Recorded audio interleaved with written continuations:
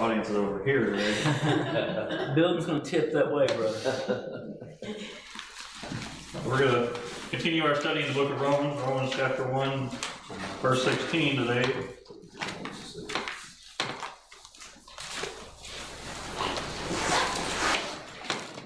If you recall from those that were here last week, we looked at how Paul was ready to preach the gospel and how we ought to always be willing and ready to preach or to share the gospel as well. So now he elaborates a little more on that verse 16, and he, here he writes, For I am not ashamed of the gospel of Christ, for it is the power of God unto salvation to everyone that believeth, to the Jew first, and also to the Greek. Amen. Well, After he says he was ready to preach the gospel, he tells us he is not ashamed of this gospel. He is not embarrassed of it. He is not ashamed to be associated with Christ. He's Amen. not ashamed to be seen preaching the gospel. Well, you I hear sometimes the saying that someone is ashamed to be seen with someone else or see, be seen somewhere. Paul said he was not that way with the gospel. Right. Many times I think we are, I don't know if it's embarrassed or what excuse we might want to use, but we are too ashamed to spread the gospel when we have the chance. And Amen. you know, I don't believe Paul was ever that way. All throughout the book of Acts, we see him sharing the gospel every opportunity he had. You know, when he went to the, those on Mars Hill, they didn't even know what God they were worshiping, yet he pointed them to the true God. Mm-hmm. I think most of us would say, well, they're a bunch of pagans anyway, we don't need to worry about them. Oh, and he went, he would share with the beggars and with even the rulers of his day. He wasn't afraid to speak the gospel to Felix as well as Caesar. And Amen. And he could fully say he was not ashamed of the gospel of Christ. And perhaps there were some that were ashamed, and I say many today that profess the name of Christ are ashamed or embarrassed or feel guilty perhaps of, Mm-hmm. of being associated with Christ. But then he goes on to say that he's not ashamed of the gospel of Christ. I'd like us to think a little bit about what is the gospel. Amen. We, we mentioned it last week that the gospel means the good news, that, you know, the bad news that we're sinners, but the good news is that Christ died for sinners. Amen. Let's turn to 1 Corinthians 15 for just a moment.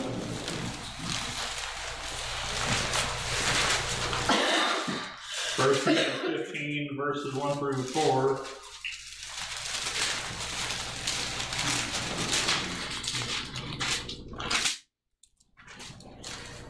Here, Paul kind of gives us a, a summary of the gospel, you could call it. Verse 1 says, Moreover, brethren, I declare unto you the gospel which I preached unto you, which also ye have received, and wherein ye stand, by which also ye are saved, if ye keep in memory what I have preached unto you, unless ye have believed in vain. For I delivered unto you, first of all, that which I also received, how that Christ died for our sins according to the Scriptures, and that he was buried, and that he rose again the third day according to the Scriptures. Amen. Well, this really is the crux, if you will, the gospel, the pinnacle of it, you might say, that Christ died for our sins, was buried, and rose again the third day. But really, the gospel extends to the whole life of Christ, and you could even include the whole of Scripture, because all of it is important to the death, burial, and resurrection. Well, For example, if Christ had not lived a sinless life, then his sacrifice would have been meaningless for eternal Right. salvation. The Old Testament pointed to him and showed in types and prophecies of him. And he had to fulfill all of these things. Mm-hmm. Well, and just the same, if he had lived a sinless life and had not died, then it would have made no difference for us. He would have still been very much God and sinless, and yet if he had just ascended back to heaven, he would, would not have obtained eternal redemption for us, as Hebrews says. The the entirety of the scriptures is important to the gospel. Amen. The entirety of the life of Christ is important to the gospel, but it culminates, if you will, in the death, burial, and resurrection.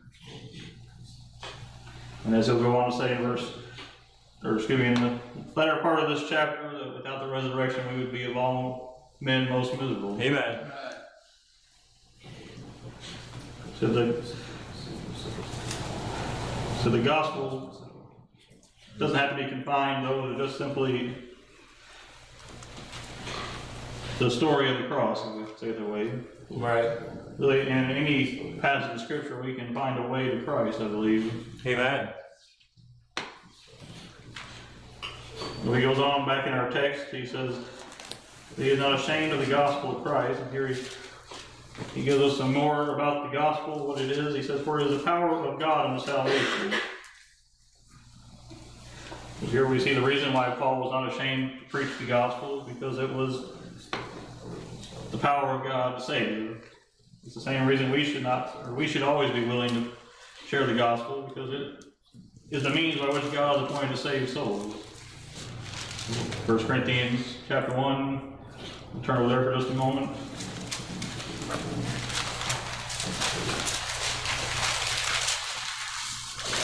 No, brother Larry loves to quote twenty-first verse. First Corinthians one verses actually eighteen through twenty-one. Says, for the preaching of the cross of them that perish foolishness, but unto us which are saved it is the power of God. Here that Paul says to the unsaved, to the lost, preaching and specifically the preaching of Christ and the cross is seen as foolishness to them. Right. But we know it is the power of God unto salvation. Verse 19 says, For it is written, I will destroy the wisdom of the wise and will bring to nothing the understanding of the prudent. Where is the wise? Where is the scribe? Where is the disputer of this world? Hath not God made foolish the wisdom of this world? Amen. Notice verse 21 For after that, in the wisdom of God, he would, for the world by wisdom knew not God, it pleased God by the foolishness of preaching to save them that believe. Amen. The preaching of the gospel is still the method in which God uses to save souls. That's it. Amen. And we see by Acts chapter 4, verse 12, it's only through the gospel of Christ. There is no other name given under heaven among men whereby we must be saved. Acts 4 12. And Galatians tells us we have to preach the gospel of the Bible. Let's turn over there for. Galatians chapter 1.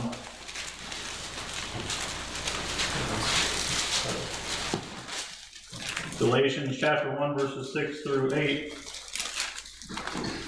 I'm sure somewhat familiar verses to us, but Paul rebukes the Galatians here. and It says, I marvel, verse 6, that ye are so soon removed from him that called you into the grace of Christ unto another gospel, Amen. which is not another, but there be some that trouble you and would pervert the gospel of Christ. But though we or an angel from heaven preach any other gospel unto you than that which we have preached unto you, let him be accursed. Amen. There is only one gospel that we can proclaim. It's not the gospel of man's wisdom. It's not the gospel which many professing churches proclaim today, but the gospel is that Christ died for sinners. The man trusts in their works and their religion, sometimes in their baptism or their church membership, but preached gospel is still God's instrument of salvation today. That Christ came, that he lived a sinless, perfect life, and that he died, paid the penalty for our sins, and rose again the third day. Amen. Any perversion of those makes it into another gospel. Right. I was forget, I read recently the percentage of Christians that, so-called Christians, that's, think that Jesus sinned, and it's a lot more than it ever should be, Hmm, something like fifty-four percent or something. no me. No, if Christ was sinful, then his sacrifice could not take away sin for us. You're right.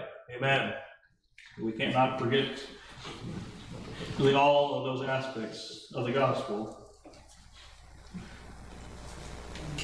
We can be sure he obtained redemption for those he sought to obtain it for. So we, we need to present the gospel that's, you just do what feels good to yourself, or you just you hope that when you stand before God, it'll be okay, but the real gospel is that Christ can save, Hmm. and save you to the uttermost, and save really for eternity. Right. When Men present a gospel that is, you can be saved and lost again, or you have to work your way to salvation, or you have to work your way to be saved, but all those are not the gospel of Christ. Right. Said men trust in many things, but the biblical gospel is simply trust in the Lord Jesus Christ, and thou shalt be saved. Amen. Let's go back to our text here in Romans and we'll look further. We see the, a two-part point here. In the next part of the verse, he says, For his power of God and salvation to everyone that believeth. First, we see the responsibility of man in salvation. that Amen. Must believe, but there's also a promise of God here, we'll look at in a moment. You know, Christ in his own ministry in Luke chapter thirteen said, except you repent, you shall likewise perish. Right. And again in Acts chapter seventeen, verse thirty, it says that God commandeth all men everywhere to repent. Hmm. So repentance is still a requirement. That's it. I fully believe in the doctrines of grace, but I fully believe in the responsibility of man as well. You're right. Again, Acts chapter sixteen, verse thirty-one, believe on the Lord Jesus Christ and thou shalt be saved. That's it. The command was still there for man to believe. Said, well, certainly man has to be born of God. He is dead in trespasses and sins according to Ephesians two one. But yet man will be responsible for his belief or his unbelief. Mm-hmm. We cannot stand before God say, well, God, you didn't save me. The command is to believe on the Lord Jesus Christ. Amen. The command is to repent and follow him. It's- That sometimes it's hard for man to reconcile that God is sovereign and man is responsible, yet those things are not mutually exclusive. They can, man can be responsible while God is still very much sovereign. Amen. But after he says here that, he says that it's to everyone that believeth. So we also see that's a promise of God that he will save those who believe. Well, It's not that you gotta do enough good works and when you get stand before God, you hope he's gonna let you in. Many, many people today believe in a salvation like that, but believe that is no salvation at all. Amen. No, God will save those who truly believe. Mm-hmm. Like Christ himself said, in all that come, or him that cometh to me, I will no wise cast out. Amen. John six thirty-seven. Any that genuinely come to Christ, he will not cast them away. He will not say, well, oh no, you're not one of the elect, go away. It's it. That's not what Christ does. You're right. But we can rest assured on the promise of God that if we believe in the gospel, if we believe on the Lord Jesus Christ, that he will save. That's more sure than the sun's gonna come up in the morning. That's more sure than Biden is gonna be Biden tomorrow. Right. It's more sure than just about anything that man thinks is always gonna be here. That God will save those who believe is something we can stand very firm on. Amen. It should be a consolation to us that are saved that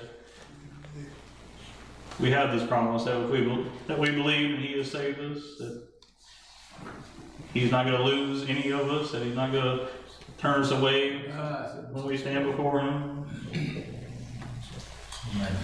We'll go to the last part of this verse and we'll close. He adds this clarifier on the end here. He says, after it's the power of God and salvation, everyone that believeth, he says, to the Jew first and also to the Greek. Amen. Well, There is no discrimination in the gospel. The Jews were the first to hear the gospel. As we'll see here in a- later on in the book of Romans, he, they were given the oracles of God. They had all the types and prophecies pointing to Christ. They had the law, which Paul says in Galatians was our schoolmaster to bring us to Christ. They had everything that pointed them to Christ before we did. Mm-hmm. Yet thanks be to God that He extended the gospel to us as well. Amen. Yes, to the Jew first, but also to the Greek, to the Gentile people. Really, we have much to be thankful for to God. Up until the time of Christ, salvation was primarily for the Jews. That's it. aside from a handful of outsiders that the Lord saw fit to save, you only see salvation among the Jewish people. Right. But thanks be to God, He said, I have sheep of another fold. That's it. Amen. Thanks be to God that He sent the Apostle Paul to preach the gospel throughout the Gentile world. As we, if you remember from our studies in his life, he went over to Macedonia and to Spain. Mm-hmm. The gospel Amen. eventually made it over into England and came over here by the way of the pilgrims and others that came to this country. Amen. And I don't, I don't think any of that was by accident. Yet God purposed each of those things that He might bring the gospel to each and every one of us.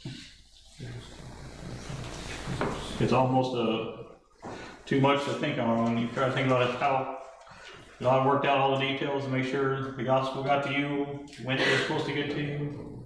Mm-hmm.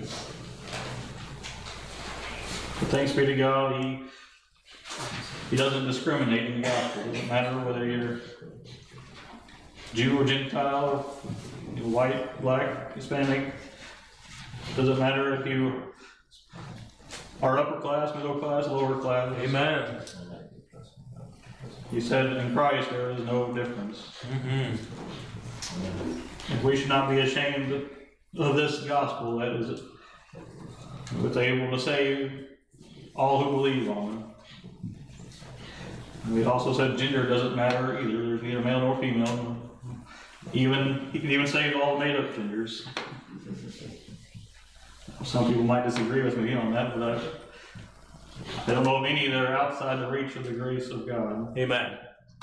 That's why we should not be ashamed of the gospel, for it is the power of God and salvation to everyone that believes. Let's go ahead and close with that thought. Amen.